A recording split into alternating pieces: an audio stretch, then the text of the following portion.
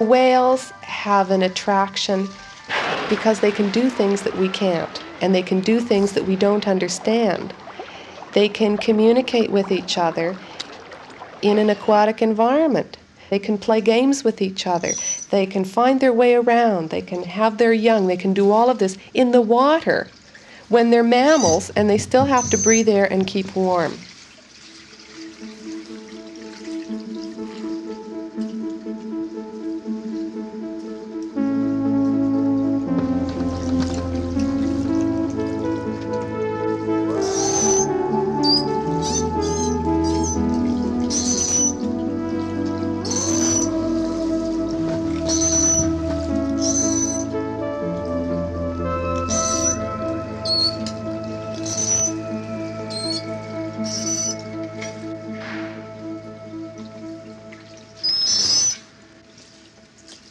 We had no idea that Kavna would be pregnant when she arrived. It had never, ever occurred to us.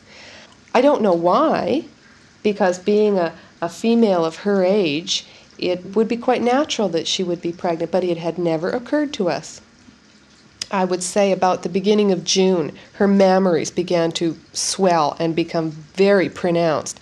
And about the middle of June, the nipples that are usually concealed in two little slits were protruding. So we knew then these were very obvious signs to us that her body was preparing for birth in the way that all mammalian species do.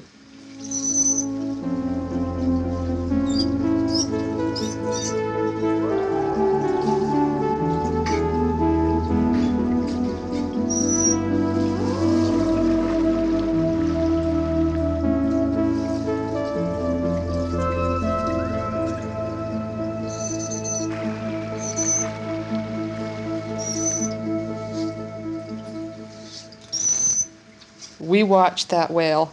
We watched all the whales, as a matter of fact. Every day there was at least four hours of watching just those whales.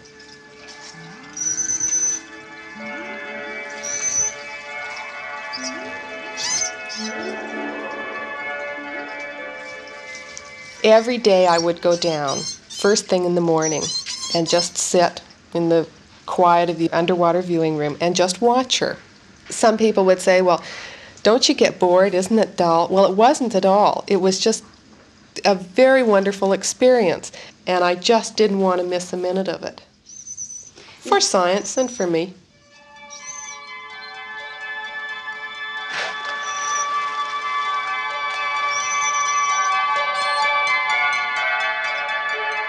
the whales developed marvelous games and very creative games, many of them very physical.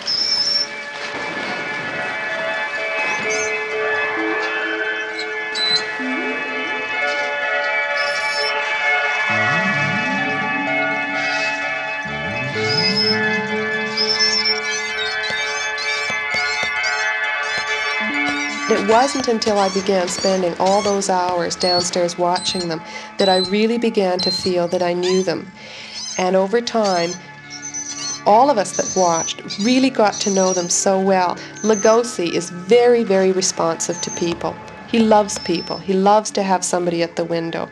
The younger female, Sanak, was typically juvenile, sort of skittish, fast. She has a temper.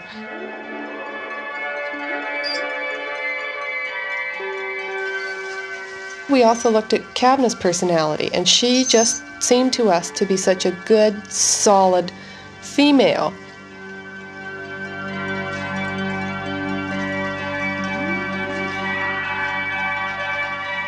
The waiting was the hardest thing. Every time there was a little change, we thought, any day now, any day. And the days passed, and of course it went on and on. Many times I would get home have my dinner, and I would say to myself, I have to go down. I just I just have to go down. I have a feeling that I should be there. So I would go down and I would stand watching the whale in the middle of the night. Nothing would happen. We had one very definite false alarm. One afternoon, she began to throw her tail against the side of the pool violently, very violently, and she would snake along the side of the pool. It was terrible to watch, and we thought, this is it. But it was too early. It was only the middle of June, or rather the beginning of June. But we put our plan into action, which had been ready for weeks and weeks before. We went down, we waited, and within an hour or so, everything had calmed down and she was right back to normal. It was a fire drill not a fire. We never did figure out just exactly what was going on, but she continued to do this periodically throughout the rest of her pregnancy.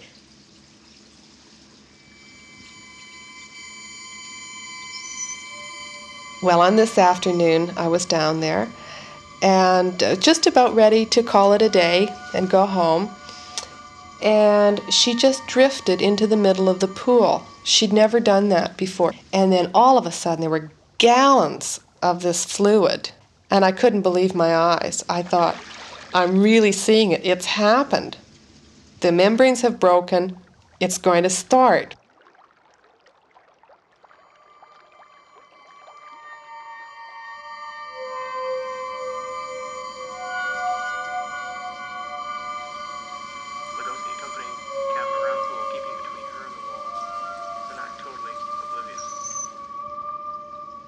The appearance of milk jetting from the mammaries as she was going through contractions was quite a surprise. Um, it was very heartening to know that she was prepared for this baby and that she did have milk. But all during the, the latter part of her delivery, the milk jetted from the mammaries with each contraction. Kavna is very quiet. the most wonderful thing to us was that she was so calm. She just looked so totally in control. And from this, we rather suspect that she may have given birth before. She was so cool. But then things started to progress rather quickly. Her vent started opening more and more, and we, of course, were waiting, thought we had lots of time. At a few minutes after nine, we realized that the baby was being born head first. Now, typically, birth in cetaceans it has been flukes first or tail first. Everything was going so beautifully, and then all of a sudden, here was a head first birth, and I really thought it was dead. What could we do? All we could do was watch and just hope that the whole thing resolved itself one way or another. And actually, things started progressing so quickly after that that we didn't have too much time to worry so much about ourselves. But she still looked so good. She was moving around, swimming, and so on. And then she started pushing the baby out. Every two or three minutes, the baby would be pushed out and then withdrawn. So things were going along quite smoothly, relatively speaking. Just before 10 to 10, the baby was delivered right up to the pectoral fins. Its remaining extent. And then it opened its mouth and it wagged its head.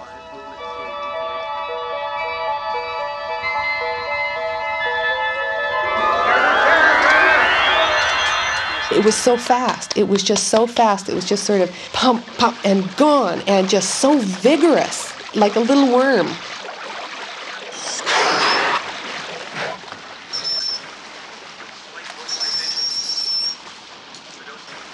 The baby was totally disoriented. It was swimming on this animal and bumping into that one. And that was so hard. It was just so cute and so brand new, and all its flippers were all limp and soft. And here were all these big giants. And he just, you know, we wanted to go in there and protect him and do all these things for him, and we couldn't. Couldn't do anything. And of course, the whole thing settled down into a very natural environment, natural situation. They sorted it out themselves.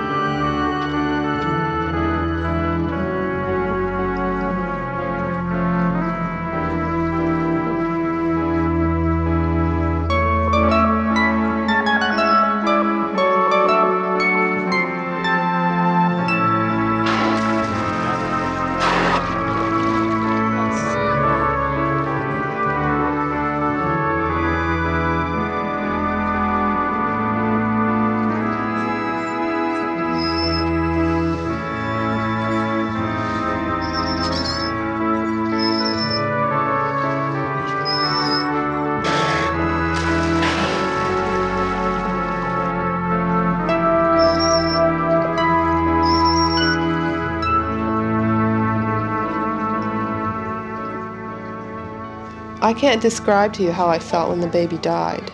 I was totally devastated. Not because I felt responsible, nothing that we could have done differently would have changed it at all, but the fact that he had brought so much joy to everybody and me personally. And when he died, it was just it was just such a loss. Such a loss. And I remember walking through the park the afternoon of the evening that he died, and I knew he was going to die that afternoon. And I couldn't work, so I went out and I walked in the park, and all these beautiful leaves had just fallen off the trees because it was such a windy day. And I thought, that that's really what life is all about. Here's this beautiful leaf. It changes the lovely gold and then it falls and it's going to rain and somebody's going to step on it and it's gone. And our little whale was the same way. It was just like a, a little flash, a star. And his, his life should have been longer, but it wasn't. And he just sort of peaked and went in a season, just like a leaf. And it, but it was still really, really hard.